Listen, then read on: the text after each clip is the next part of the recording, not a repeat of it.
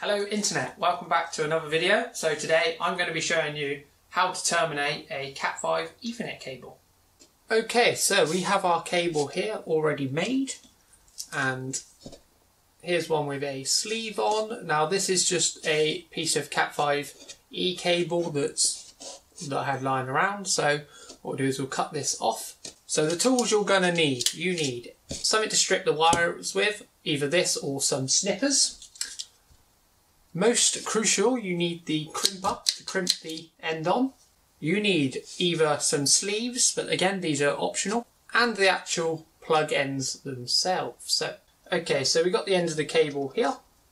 Now what we need to do is just nibble the end of the cable to reveal the nylon draw cord. What I do is just give it a little bite and then give it a twist. That should pull that off like so. And then we got this nylon draw cord and we can just wrap something around that and pull that down like so. And then pull that back.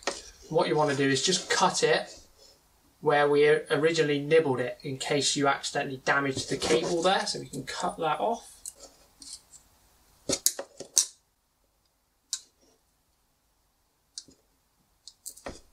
so we got the end here now for now it doesn't matter how long these wires are. What we need to do now is we need to go on Google and because I always forget and we need to look at the colour code. So now we just want to get the wires in the correct order. So okay so what I recommend doing is splaying the cable out into the individual colours and then arranging them in the correct order.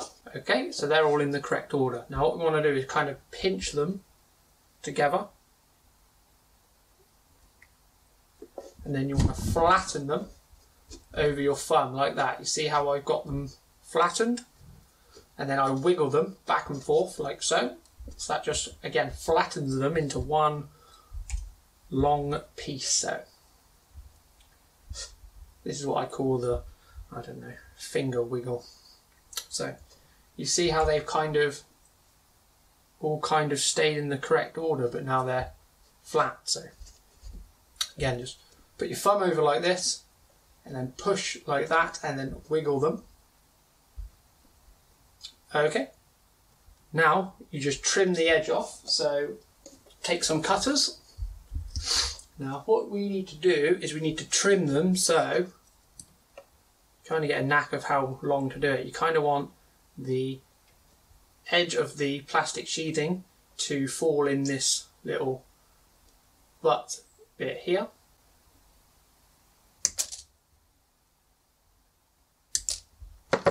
So you see the way we flatten them out, they're kind of all staying in the correct order.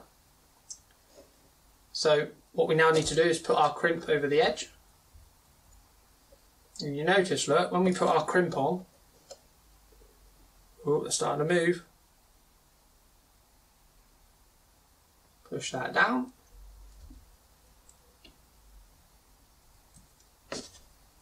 There we go. Push that over the top double check our order is correct. So we now take our crimper. Again, double check our order is correct. Yep. Place it in and squeeze it down like so. So now we've completed our Ethernet cable, it's best to check it with one of these devices. Now this comes in two pieces, so plug one in at one end, one in at the other end, and then we plug in our Ethernet cable into the top.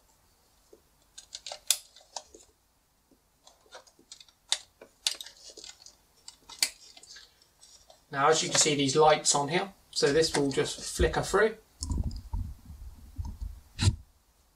So as we can see we've got pin 1, pin 2, pin 3, pin 4, pin 5, pin 6, pin 7 and pin 8. So they all match correctly. Now, if you had a crossover cable, obviously these these uh, middle ones would, would differ. Uh, and if any of the pins wasn't terminated on the plug, you wouldn't see a light, so it would just skip it. So that's how you would know you have a, a problem. So, thanks for watching. Hopefully this helped, and goodbye.